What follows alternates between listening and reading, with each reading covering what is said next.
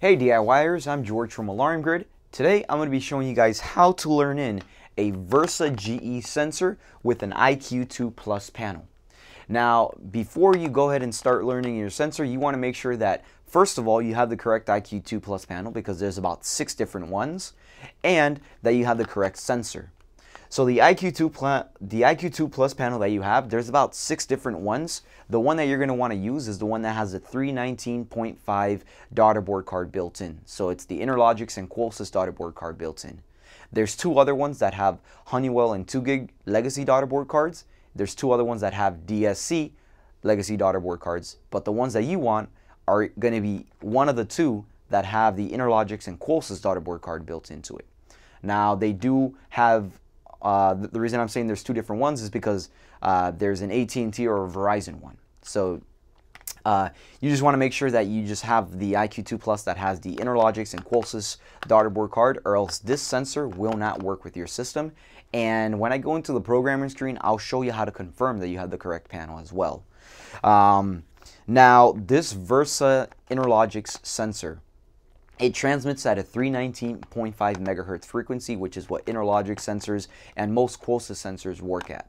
Um, there are two other versions of the Versa sensor. There's the 5800 Mini, which is the Honeywell version of the Versa, and then there's the Versa 2 gig sensor, which is um, again the same sensor, just intended for 2 gig panels. The Honeywell one, the 5800 Mini, is also a Versa sensor, just intended for Honeywell systems. Um, now, the one way to tell what sensor you have, if you already have them installed in the house, if you moved into it and they're already there, is you'll actually, if you pop the cover, you'll see that the daughter board card on the inside is a different color. So for the Interlogix uh, one, they're actually blue, but you can see by the actual blue box. Um, the Honeywell one, the 5800 Mini, has a red daughter board card, and the 2 gig Versa uh, has a yellow daughter board card in it. So right now I'm going to go ahead and show you guys how to pop the cover, show you guys how to get the serial number in case you want to confirm whenever you guys are learning it in, and how to just make sure what sensor it actually is. So I'm going to go ahead and open up the box, and uh, I'm going to take out the sensor, and I'll show you guys right now how to pop the cover. All right, so first thing you're gonna need is a flathead. Um, nothing too big, just the perfect size. There's little, there's about three little slots on the side of the sensor. Uh, you can see I've already tried popping the cover off, so it kind of like damaged the plastic a little bit. Um, and then there's one on the very top. So what you're gonna do is you're gonna try to pop at least two of them out. So you put the flathead flat in, twist it, excuse me,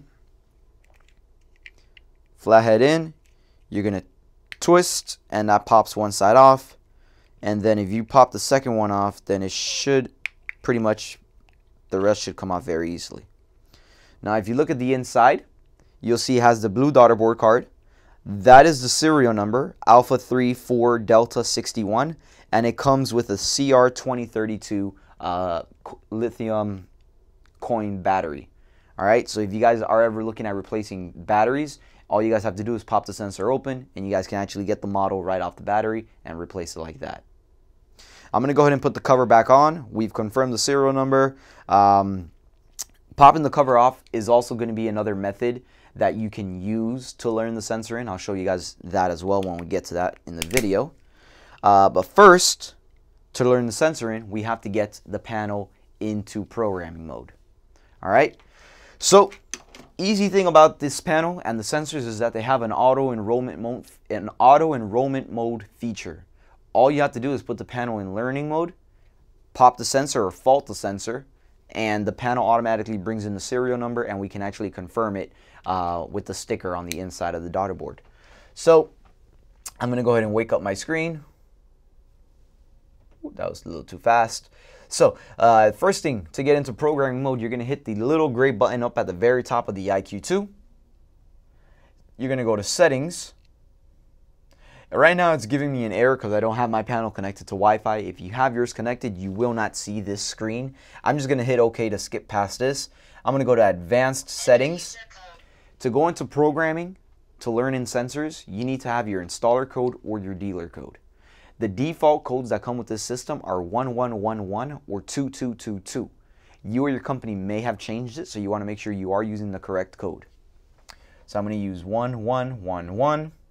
Go to Installation, Devices, Security Sensors, and this is where, before actually learning the sensor, I want, I'm going to show you guys how to confirm uh, what panel it is you guys actually have.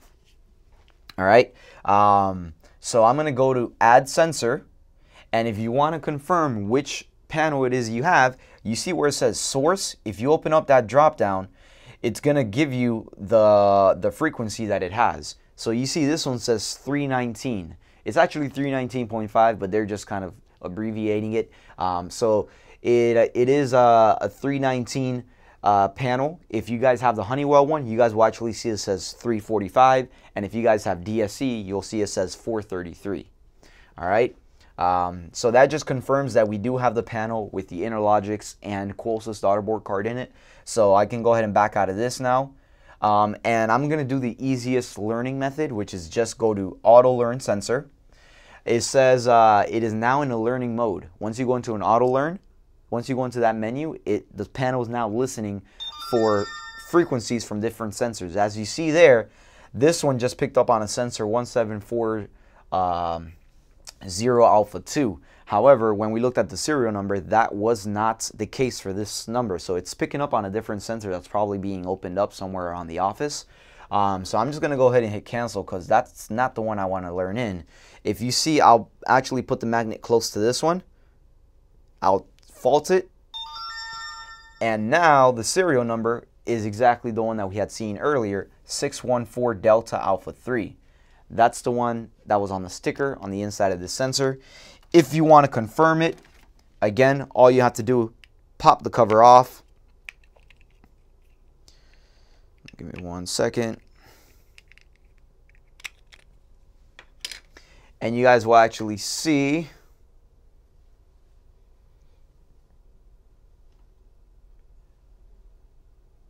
Give me one moment.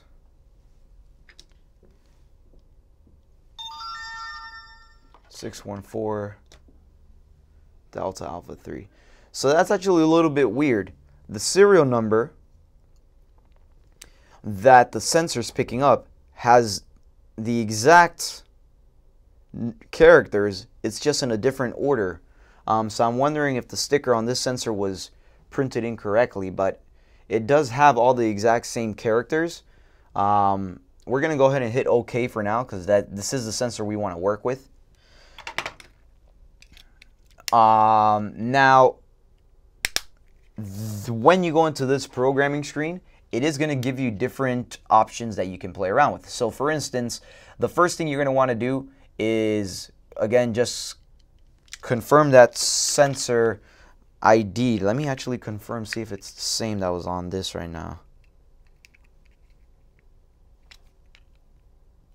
Yeah, so again, you'll see here, it still has the same characters. It's just in a different order. I'm thinking it was a misprint for this sensor.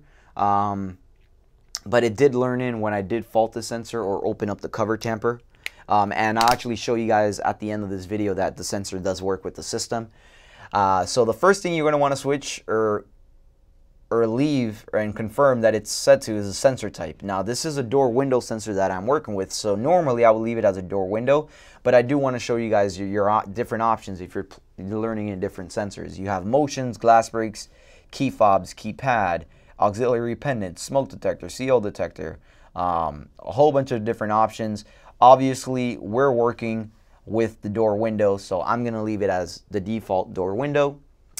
The sensor group, it is defaulted to the sensor group 10.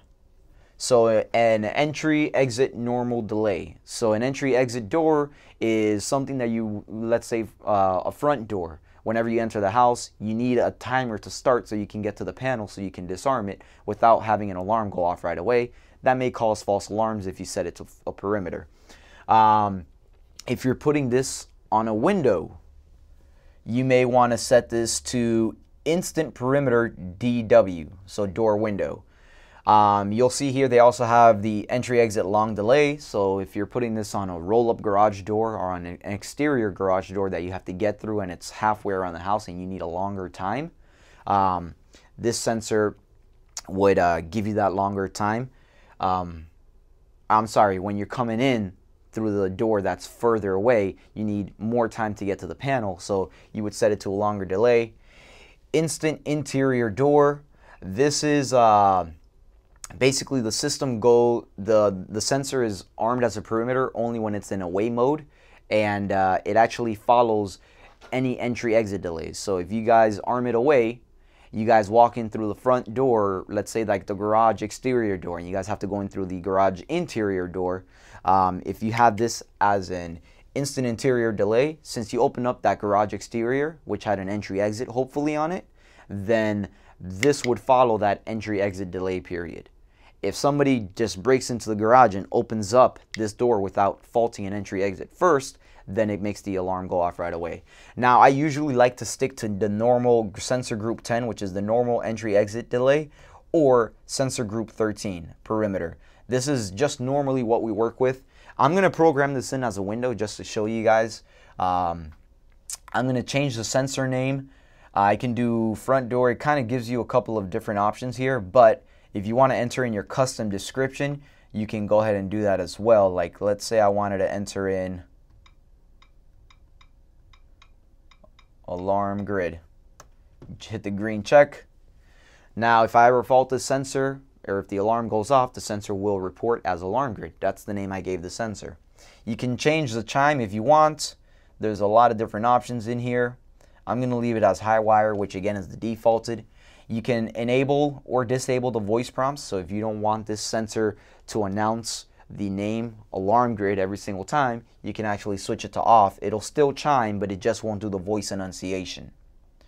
Um, and the security source we're going to leave as 319. Give me just one second here. So yeah. So we're going to go ahead, add new. Sensor added successfully. And we're going to back out to the home screen by hitting the home button on the bottom uh, taskbar. And now you'll see if I put my magnet close to the sensor and I fault it, it'll say alarm grid open. All right, and you'll see the little link right here is letting us know that it's opened. If I go ahead and close it, it should disappear and now it's no longer active. But if you do go to all, this is where you can actually take a look at all your sensors. So if you have a bunch of sensors, they'll all appear here. And the ones that are open will show that broken circuit or the broken um, link right there. And again, if you close it, it'll close. Now, I set this as a window and I set it as a, as a perimeter, which means while the system is armed, and if I fault it, even while it's arming, it will cause the alarm to go off. Take a look. So let's just arm the system. system let's just say I do an arm away. This is a perimeter, which means whether the system is in an arm mode or arming states, if I trip it right now while it's in the countdown, you'll see the alarm will go off.